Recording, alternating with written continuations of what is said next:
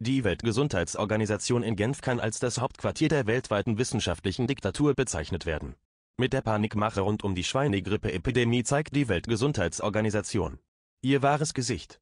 Die höchste Alarmstufe 6 auszurufen, obwohl nicht mehr an der Grippe sterben als in anderen Jahren zeigt, dass die Panikmache auf keiner wissenschaftlichen Grundlage ruht und möglicherweise von einem Kampfeinsatz mit biologischen Waffen während der zweiten Grippewelle abzulenken das Ziel ist wohl möglichst viel Medikamente und Impfungen zu verabreichen aus finanziellen und eugenischen Gründen.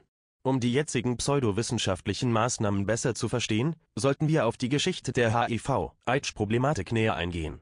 Viele prominente Wissenschaftler stellen immer noch die Theorie in Frage, dass HIV irgendwelche immunosuppressive Wirkungen entfalten kann.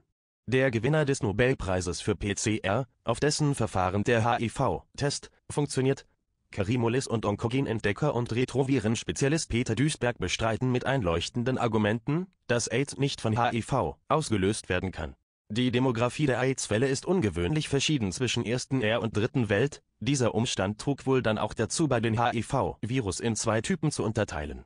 Der gleiche HIV-Antikörpertest wird in Afrika und Europa angewandt die Chance für ein positives Resultat ist allerdings viel höher in Afrika, da der Test nur zwei HIV-Antikörperproteine anzeigen muss, um ein positives Resultat zu erhalten, in Europa allerdings deren vier HIV-Antikörper.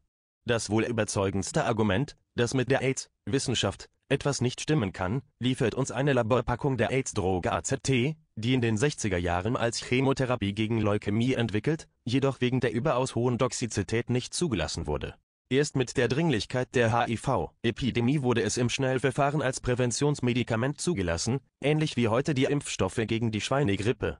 Niemand, ob der HIV-Test nun positiv oder negativ anzeigen würde, hätte diese hochdosierte Chemotherapie, bis 2400 Milligramm pro Tag, längere Zeit überlebt. Also 24 der Laborpackungen mit Totenkopfwarnung. Bei der neuen Generation AIDS-Medikamenten, die ein längeres Leben versprechen, wurde die Dosis von AZD von 2400 mg auf eine überlebensfähige Dosis von 500 bis 600 mg verringert. Ein ähnliches Schema zeichnet sich bei der Chemotherapie gegen Krebs ab.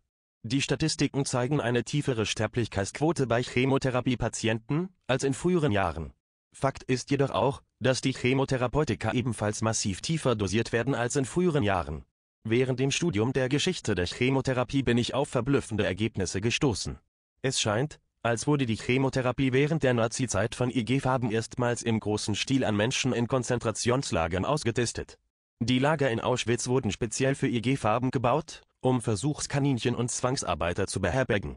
Interessanterweise wurde das Gebäude für den Hauptsitz der IG-Farben in Frankfurt, wo vorher die psychiatrische Klinik Affenfelsen untergebracht war, von der Rothschild-Familie abgekauft Während des Krieges wurde das Epizentrum des Naziterrors in Frankfurt nie bombardiert, mit der Begründung, man brauche ja dann ein Hauptquartier für die eigene Verwaltung.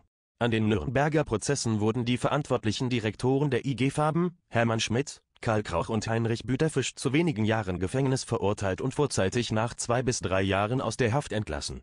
Ähnlich wie Wissenschaftler unter der Operation Paperclip sind die Verantwortlichen der Konzentrationslager wieder in die Verwaltungsräte der Nachkriegspharma- und Bankeindustrie aufgenommen worden. Sogar der erste Präsident der ersten Kommission der Europäischen Wirtschaftsgemeinschaft Walter Hallstein war in diversen NS-Organisationen aktiv und vertrat öffentlich die Lehre der Rassenhygiene, Eugenik.